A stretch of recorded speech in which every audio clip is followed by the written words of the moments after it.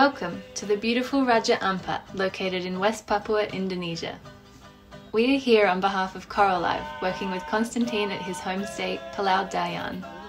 Our goal is to restore and protect some of the natural ecosystems here, centering on coral restoration, mangrove planting and active shoreline protection. First, we are meeting with Konstantin to discuss the plan. But this one is, uh, how do you say fast? It's a long one. They're quite healthy. Yeah. Yeah. Uh, for, for our place in the village, we use uh, The reef in front of the homestay has a tragic past. What used to be a thriving coral community attracting divers from all around the world has been laid to waste by illegal dynamite fishing and the ongoing effects of climate change. To counter this, we have chosen to build four coral rope nurseries with a total capacity for over 2,000 coral fragments that will be grown and outplanted to the struggling reef. With these restoration efforts, combined with the presence of the homestay, we hope to turn years of degradation around. We're building the first prototype of the nursery on land just to test if it works and um, to show how it will work underwater to Konstantinos. I think it's easier having a practical illustration rather than talking theory all the time. So we're just installing it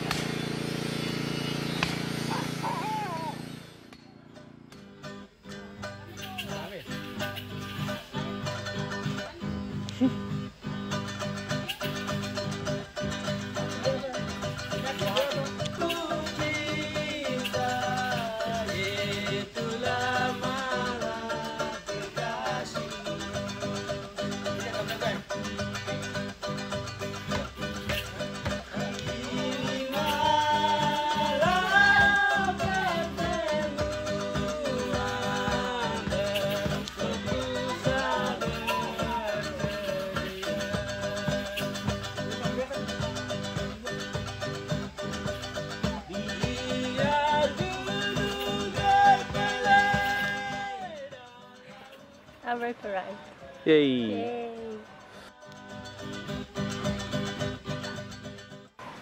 no, it's quite hard.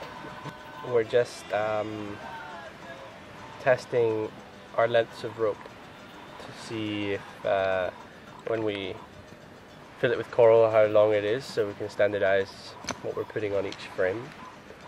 And then uh, I think after this we'll go and look for some coral on the reef to uh, use our donor coral. So we're going to snorkel around looking for corals of opportunity to put on our frames.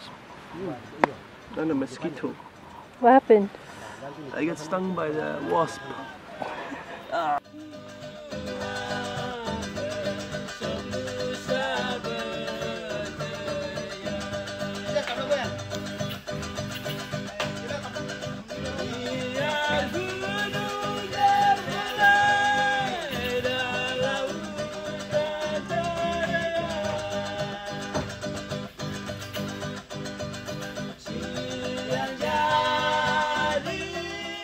Depending on the coral, this one is branching so it's really easy. You just slide it back. Here's gap on the rope because this is where we'll tie on. And then the goal is in the middle of the rope to tie 26 coral. Yeah. So roughly this far apart.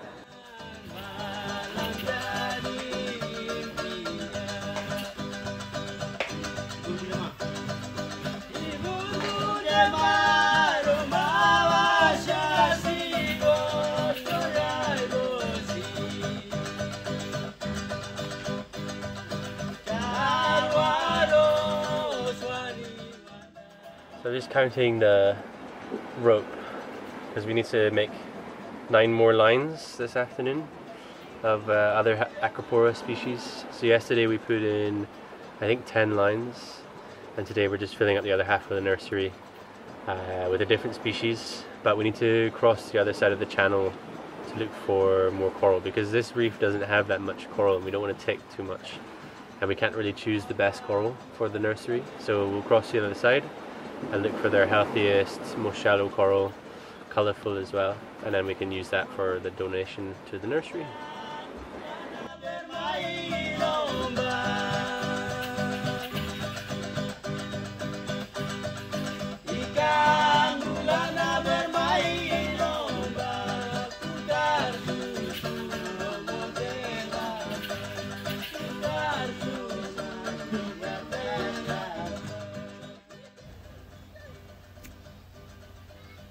With the progress on the coral nurseries going well, it's time to check in on our shoreline protection strategy.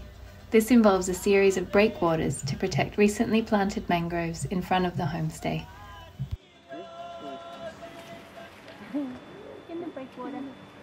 Okay, so good morning.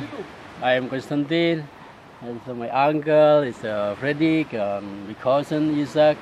Yeah, this morning we start from work uh, breakwater because we, we have big problem with the erosion here. So yeah, we want to protect our beach with uh, this method. I think it's work because we already tried many times with the wood uh, wood fence and uh, mangrove, but it's not it's not work. So now we try with the this, this river, the breakwater, and then we planting mangrove. I think yeah, I hope it's it's work. Yes, uh, I think it's uh, two or three. Yeah, one month ago it's a big storm. I think two or three days, and all is uh, it's very bad that we cannot go out, and then all the mangrove is is gone.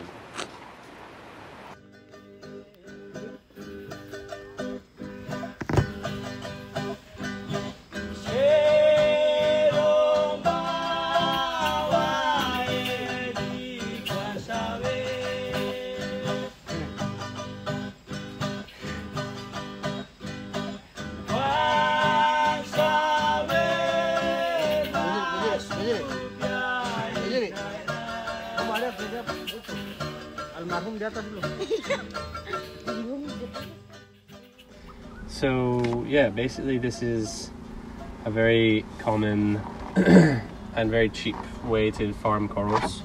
The coral fragments that we take will just go in between the line. So you just open the, the twine and then you make a hole and then you just take your coral fragment and then try and find a natural way to hook it into the line like that and then just tighten again.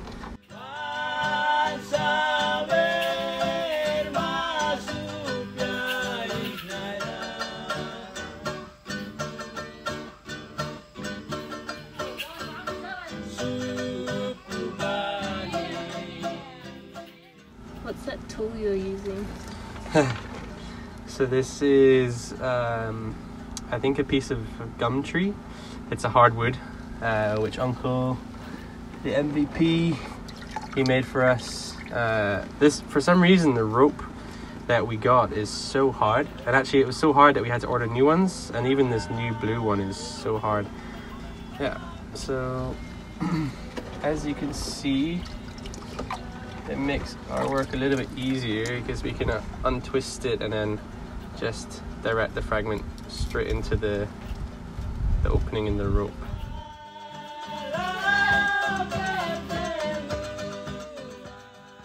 Uh, I think it's a good thing uh, that we help nature a little. Uh, we damaged a lot, and this is a good way to uh, try to improve things around here. Uh, nice to learn a new skill, be out on the water. Uh, yeah, hope to see uh, the reef grow big, uh, getting bigger here again uh, one day if I return.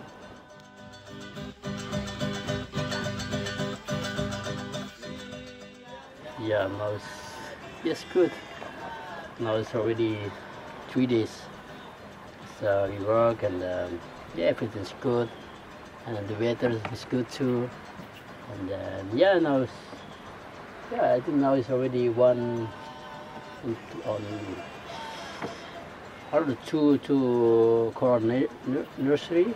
this is already uh, finished. Now we start again for a new one and now it's yeah I, I hope it's uh it's good for future so we have because yeah you know we have uh, some problem with the, our our reef here it's like a mini rubber place so now it's good for we make a coral nursery for yeah good good uh, nature here. And now I hope one day it's grow up and then yeah many fish come and um, everything comes to here. Yeah I think just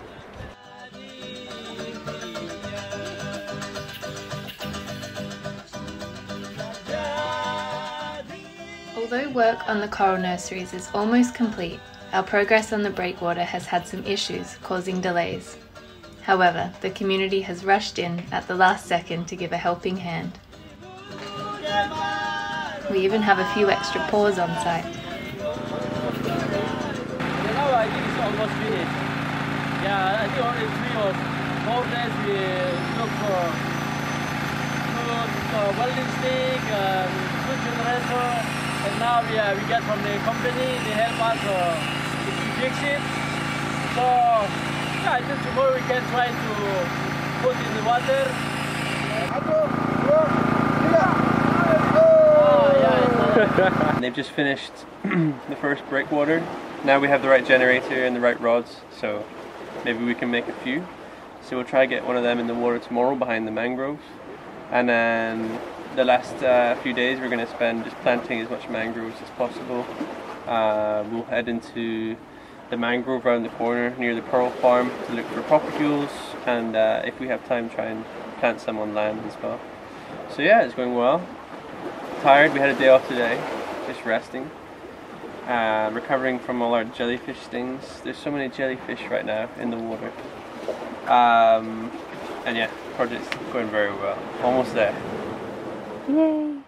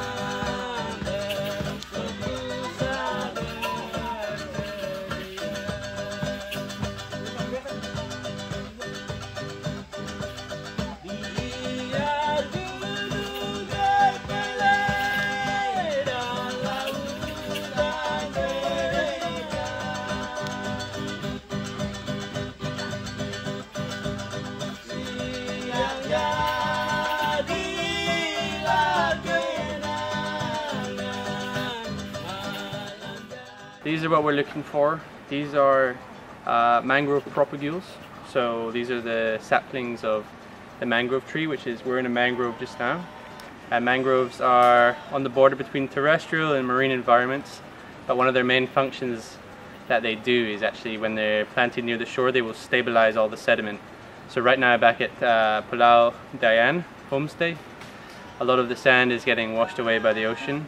So we're hoping to plant these mangroves behind the breakwater that we put in yesterday. And then the breakwater will protect these while they grow up. And then once they're grown up, they will themselves be the, the protection for the shoreline.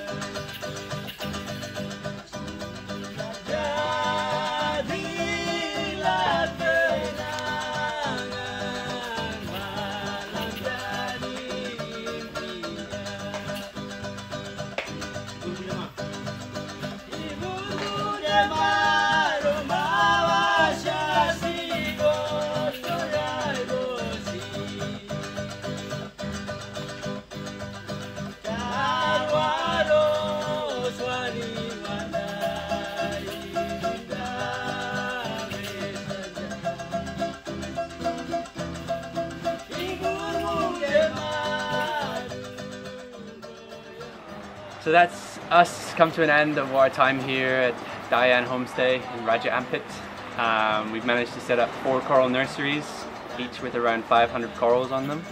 And now we've just implemented our first uh, breakwater barrier behind me, uh, which has a mangrove planted behind it as well. So these are the first of a series of multiple breakwaters that we will align the coast with. These will act as barriers against uh, storms and waves to protect the mangroves while they grow. And after the mangroves have grown higher above the water, we will remove the breakwater cages and allow the mangroves to act as a natural layer of protection.